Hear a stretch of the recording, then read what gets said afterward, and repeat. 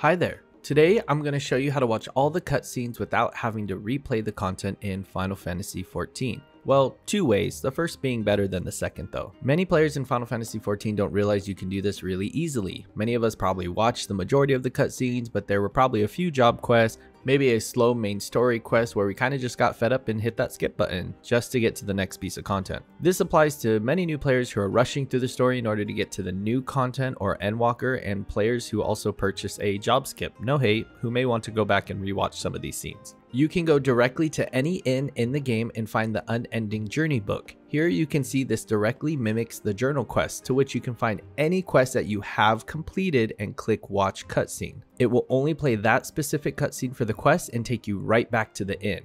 For the job quest, you have to be that specific job when you're clicking on the scene or it won't let you rewatch it. I find for myself a good time to do this is when I'm working on in real life stuff, maybe lessons or office work and you just want to watch the cutscenes you may have missed. I highly recommend this on your like off hours if you have some extra time in multitasking with real life stuff. The second way is for more intense players who may want to play the game again and get the full experience. For these type of players, you can do New Game Plus, which is located under the menu under Duty. Here, the game will start you from the very beginning of the quest in an alternate game mode. You'll have to play through and run each quest again with a new UI element on top. The only issue I find with this is, of course, you have to do all the running around again. Which, yeah, no, don't sign me up for that. As well as, unlike with the MSQ UI element, you cannot see where you have to teleport to or see where the quest is located. So you kind of have to know where the quest is in order to be able to continue.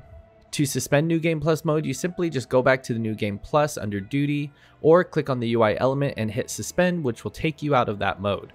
I personally don't get the benefits over New Game Plus, but leave a comment down below if you have some reasons why you think New Game Plus is good. I like to rewatch some cutscenes, Beast Tribe cutscenes, dungeon opening scenes that were just really good and gave me the chills, as well as the few blue quests that I might have skipped over and want to update myself on a particular side story.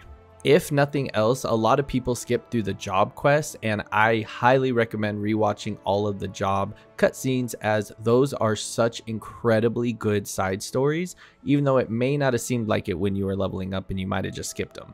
I hope this video helped any of the Sprouts or veteran players out there. If it did, then make sure to limit breakthrough that subscribe button down below. And if you want to watch more helpful Sprout guides and tutorials, then you can click here.